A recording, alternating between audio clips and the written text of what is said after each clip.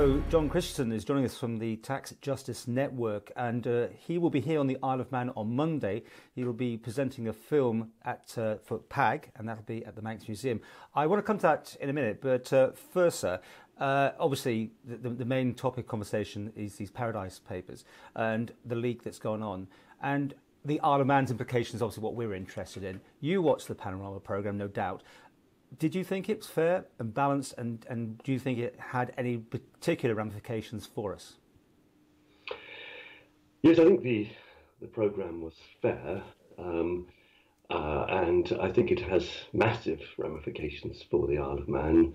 Um, it does seem to me to be clear, coming out of the Panorama pro program and out of the Paradise Leaks more generally, that we still have a major problem on the islands, and I'm talking about all the crown dependencies and the British territories. And this program has massively, I think, undermined our political credibility.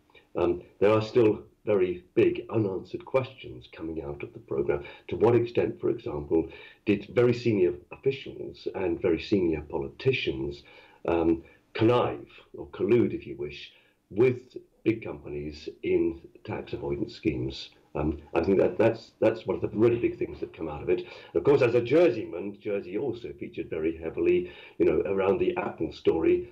Has Jersey now been doing deals with Apple?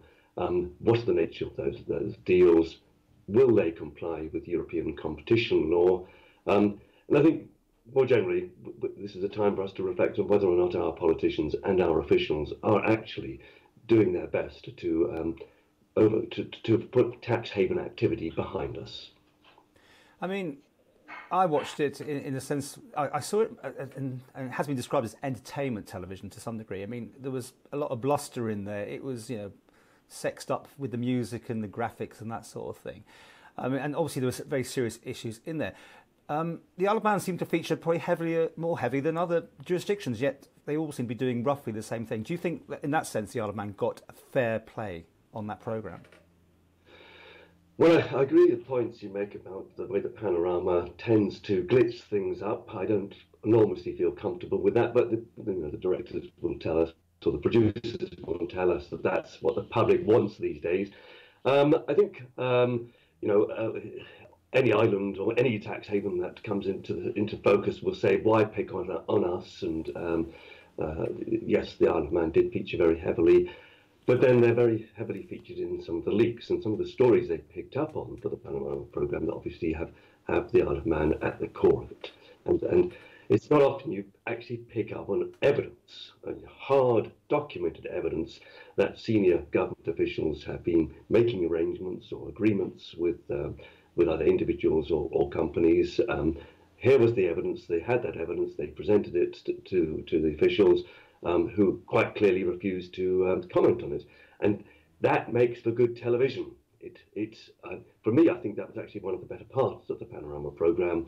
Here you have officials who refuse to comment. They're just not accountable to, to the media. And they should be accountable to the media because the media have played such an important part in bringing the role of tax havens to the public uh, attention use this word tax havens, the Isle of Man would obviously say, and they've done everything they, they, they could to say they're not a tax haven. And even uh, Cameron in, in the Commons actually stated that he didn't think the uh, offshores were now, you know, the, the, the crown dependencies were tax havens. Is that the right word? Uh, well, I mean, we use several terms. Uh, it, it's clearly the tax haven um, moniker applies where deals are being struck between the government and companies, the tax haven moniker is appropriate. Um, the other term we use is secrecy jurisdiction. Are secret deals being hidden behind offshore structures in the Isle of Man? I think the answer to that is clearly yes. So I think it's fair to say that uh, the Isle of Man is both a secrecy jurisdiction and a tax haven. As far as the former Prime Minister is concerned, I'm afraid that when he stood up in Parliament um, at that time and said, look, it's unfair to call the Crown dependencies and overseas territories tax havens. Um, at that time, we were about to publish our financial secrecy index, which showed, you know, clear deficiencies across all of the overseas territories and all of the crown dependencies, and those deficiencies remain in place today. And yet, the so, City um, of London seems to be on that list as well, if I remember rightly. you know. Absolutely, and if you know, if you, if you, I mean, one of the important things about the film that was screening in the Isle of Man, The Spider's Web, is it puts the City of London's role in this right at the centre. You know, the film is essentially a film about the City of London.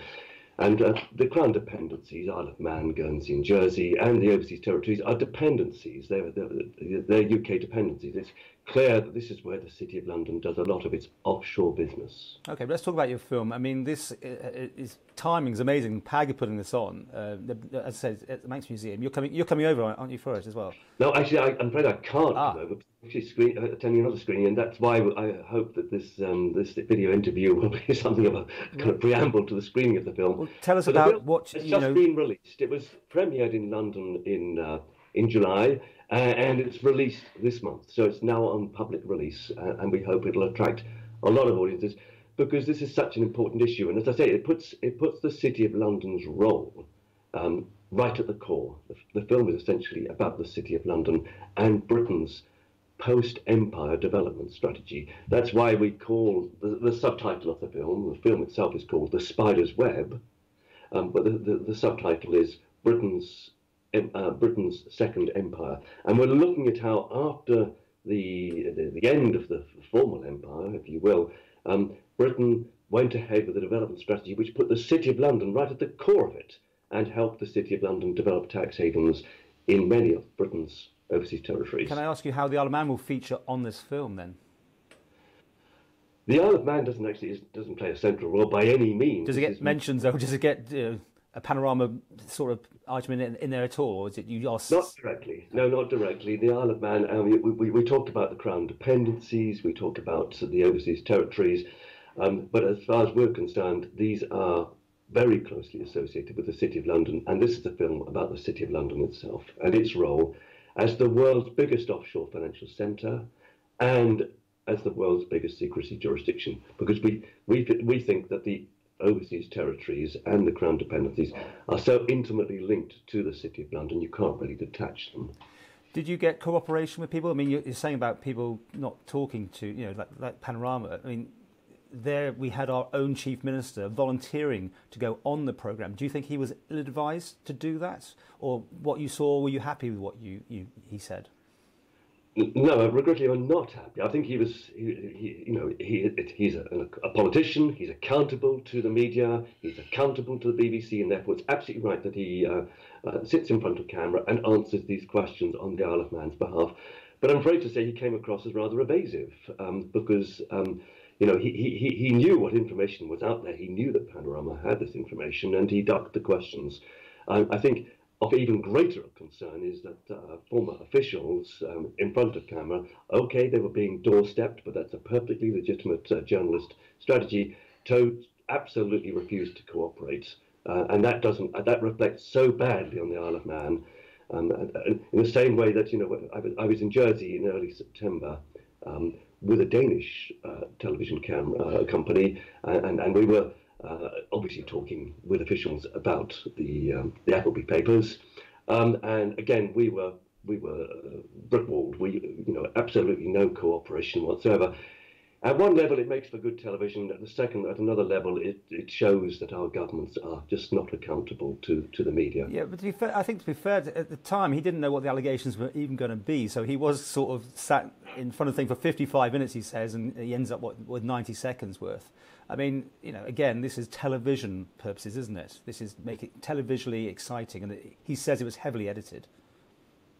Of course, it's heavily edited. in Invariably, it's heavily ed- edited, but um, without calling into question what he's saying here, what normally happens, all good journalists will say, "Here are the documents. What are your comments on this?" So he might not have had an enormous amount of time to prepare, but he will almost certainly have seen the documents ahead. I've, I've never been involved in any uh, uh, television program where a journalist su- su- surprises me um, without giving me some access to what data they have available to them. That would be professionally very bad practice. And yet, of course, no no showing by Jersey or Guernsey's chief ministers on that program. Although I, I know Guernsey's has been on Sky News just the other day, but uh, in that sense, the, the it, do you think more focus was put on the Isle of Man because they had this cooperation with the chief minister? It almost made them go down our route rather than look at Guernsey and Jersey, which only got a pretty short mention in, in it, com, you know, comparatively to what the Isle of Man. I'm just trying to, you know, about balance. I think that's a fair comment, Paul. I mean, it, it, it's true that um, I think the biggest story they covered. I mean, the, the, for me, the really big story is the Apple story, and the Apple story is a story about Jersey,